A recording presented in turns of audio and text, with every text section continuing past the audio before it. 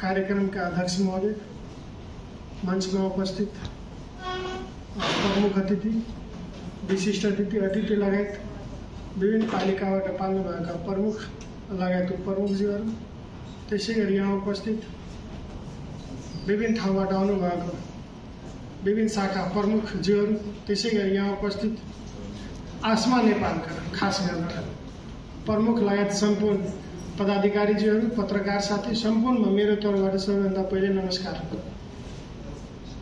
आज जुन प्रदेश स्तरीय पाठ सिकाइ कार्यशाला गोष्ठी राख्नुभएको छ त्यसको लागि म सबैभन्दा पहिले आसमा नेपाल र डब्लुएचएच संस्थालाई म धेरै धेरै धन्यवाद दिन चाहन्छु। लगायत आसमा नेपालका प्रमुख लगायत सम्पूर्ण टिमलाई पनि म धेरै धेरै धन्यवाद दिन चाहन्छु। किनभने खास गरेर आसमा नेपालको जुन एउटा काम गर्ने तरिका र उहाँहरूको एउटा जुन जिम्मेवारी देश र जनताप्रतिको त्यसमा उहाँहरूको जुन सोच र जुन काम गर्ने शैली र समाजमा गएर उहाँहरूको जीवनयापन खानपिन सभ्यता संस्कृतिलाई कसरी पालन सहितको जिम्मेवारी सहितको जीवनयापन कसरी राम्रो बनाउने लगायतका कुराहरू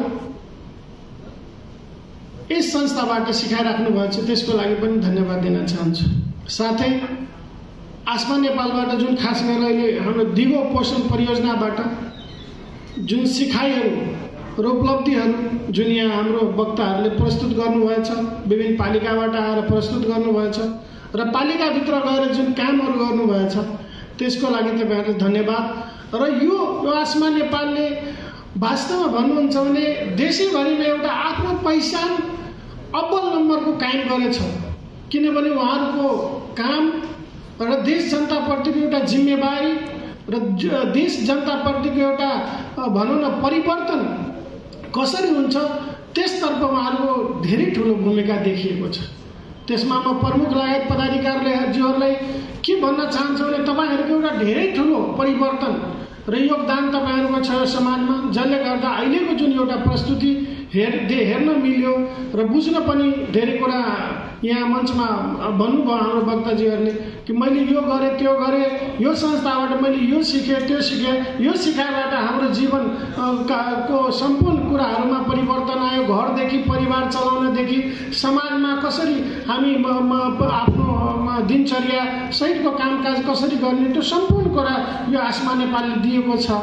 र यो वास्तवमा धेरै ठुलो उपलब्धि यो हाम्रो समाजको लागि देश र जनताको लागि हो भन्ने म पनि बुझेको छु।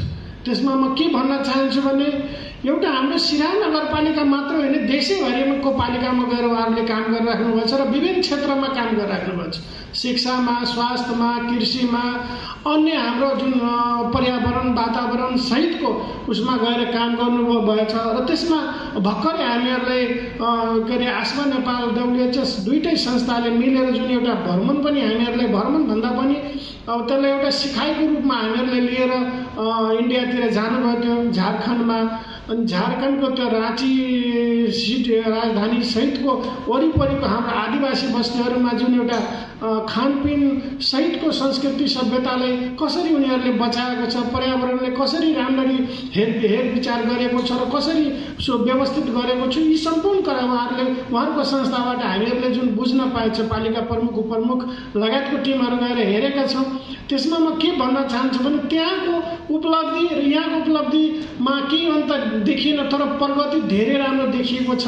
यहाँ पनि उता पनि त्यही तरिकाको प्रगति छ। त्यहाँ पनि संस्थाहरूले धेरै राम्रो काम गरिरहेको छ। गाउँ गाउँमा गएर कसरी काम गर्ने कसरी खाने कसरी बस्ने कसरी शौचालय गर्ने र कसरी बालबालिकाहरूलाई कुपोषणबाट पोषण कसरी पाउँछ त्यतातिर उहाँहरूको पनि धेरै ठुलो एउटा लगानी सहितको कामकाज हामीहरूले हेरेँ र त्यहाँ खास गरेर मैले के हेरेँ एउटा वातावरण वास्तवमा हामी प्रकृतिसँग जोडेर कसरी बाँचिरहेछ र आगामी दिनमा पनि हाम्रो जुन एउटा पिँढी छ त्यो पिँढी कसरी बाँच्छ भन्ने एउटा सन्देश पनि त्यहाँबाट हामी सिकेर आएको छ। किनभने त्यहाँ मैले के हेरेँ प्रत्येक गाउँमा जाँदाखेरि चारैतिर हरियाली वातावरण अ, फुलगुलको वातावरण रुख बिरुवा लगाउने वातावरण जुन एउटा थियो त्यसमा कता कता हाम्रो देशमा खास गरेर तराईमा चुकिरहेको अवस्था देखिएको छ।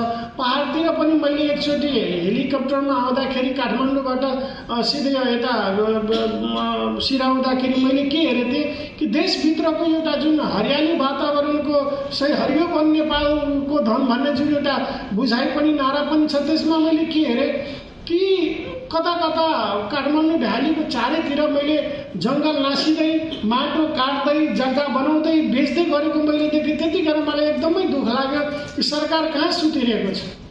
सरकार कहाँ सुतिरहेको छ? अहिले भर्खरै हाम्रो पानीको कुराहरू उठ्यो। वास्तवमा हाम्रो देशमा जो- पानीको त म- त्यो समस्या हुन्थेन तर अहिलेको अवस्थामा अब पर्यावरणले गर्दा पानीको पनि समस्या देखेको छ जमिन मुनिको पनि पानी कम भइसकेको छ आकाशबाट पनि पानी पर्ने कम भइसकेको छ। यस्तो बेलामा जुन हामी सतर्क हुँदैन भने कसरी हामी बाँच्न सक्छ? अगाडिको पिँढीहरूले कसरी बाँच्न सक्छ?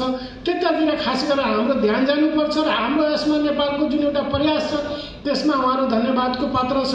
जुन हामी झारखण्डमा हेरेर आउँछौँ कि जुन सुकै बाटोमा जुनसुकै खाली ठाउँमा बिरुवा लगाएकै लगाएको छ दिनरात काम गरेकै छ तर हाम्रो यहाँ जति पनि बिरुवा छ त्यसलाई काटिरहेको छ बिरुवा किन चाहिन्छ जङ्गल किन चाहिन्छ त्यो सम्पूर्ण कुरा अहिलेसम्म हाम्रो भनौँ न सम्मानित पदमा बसेकै जिम्मेवार हाम्रो सरकारबाट काम गरेको प्रमुखज्यूहरूले बुझेको छैन जस्तो मलाई अनुभूति भएको छ। त्यसमा म के ध्यान आकर्षण गराउन चाहन्छु भने कमसेकम पर्यावरण राम्रो बनाउनको लागि हामीलाई